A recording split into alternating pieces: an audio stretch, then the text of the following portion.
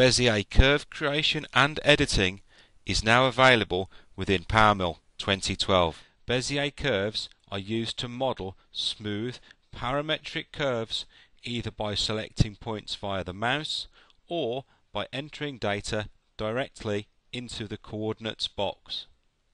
This functionality will be recognized by PowerShape users and now PowerMill has the ability to directly provide the capability of Bezier creation and editing within the Curve Editor toolbar.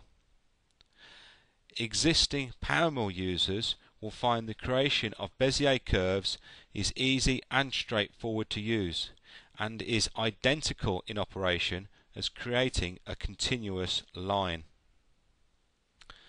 Points have been imported into this PowerMill session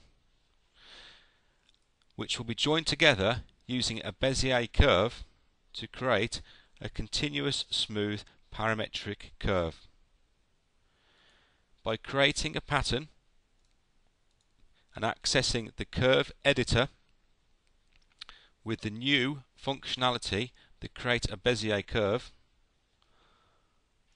we'll zoom in to the first area and using the intelligent cursor to assist us, we will select the key points that we wish to include to create this smooth parametric curve.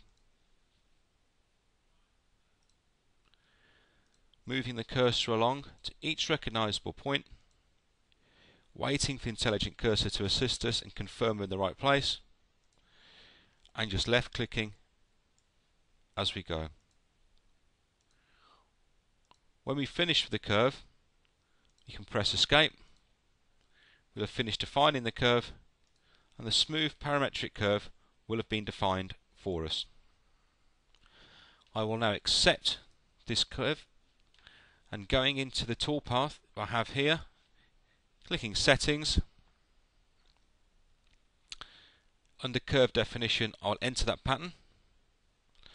I will check now to ensure that we are machining the right side. Change it over. I'm happy with that. I can accept. I'll calculate now and cancel. We've now created a smooth, continuous cutter path from points using the Bezier curve creation and editing. Bezier curves can also be created using the coordinates box. By removing the previous ge geometry and the toolpaths that we've already created, we will now see how this can be done. Again, go to Patterns, create a pattern, using the curve editor, select the Bezier curve again, and this time we'll use the coordinates box. Position the first point. Apply. Second point. Apply. And finally a third point. Accept that. Press escape. We've created a nice flowing parametric smooth curve. If we wish to edit that, we can go into the curve editor again.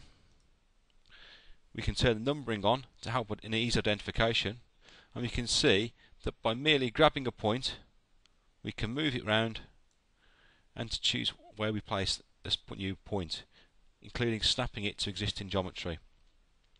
I'll undo this. There are two keys that can be used as a modifier to help in the movement of these points on a parametric smooth curve. They are the Shift key and the Alt key.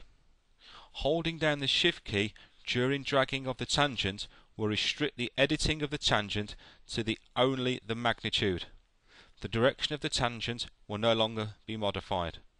So I'm holding down the Shift key. I can select the point where I wish to put it, but then, no matter where I've moved my hand handle, I can only change the magnitude. I cannot change the tangency. The same on the other end. I can change the magnitude but not the tangency. By returning to our original state, I can demonstrate how using the Alt key during the dragging of the tangent will cause both tangents for the point to be modified at once, maintaining the curve smoothness. For example, if I select the point and move it, I will only move one handle at a time. However, using the Alt key, when I grab one handle, both sides change. This ensures that the smoothness of the curve is maintained. It is possible to combine the Shift and the Alt key as a combination for key modifiers to modify a curve. While these two examples have demonstrated how we may create a smooth Bezier parametric curve, it is also worth considering that we can use this curve creation techniques to snap onto existing geometry to provide a smooth curve to assist us in our machining. This is the new functionality contained within PowerMill 2012 for the creation and editing of Bezier curves.